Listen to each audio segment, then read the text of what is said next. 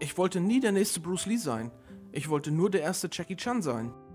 Bist du eine Kopie oder du selbst?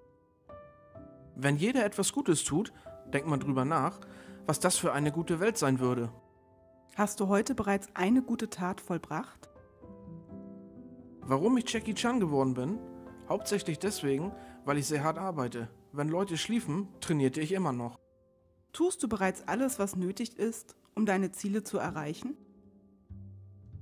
Wer sich keinen Menschen und Sehnsüchten hingibt, dem wird auch nie das Herz gebrochen. Aber hat man dann wirklich gelebt? Wie ist dein Gefühl? Lebst du dein Leben schon in allen Facetten aus? Nichts macht mich entschlossener, als wenn jemand mir sagt, dass etwas unmöglich ist. Spornt es dich auch an, wenn dir gesagt wird, dass etwas nicht funktioniert?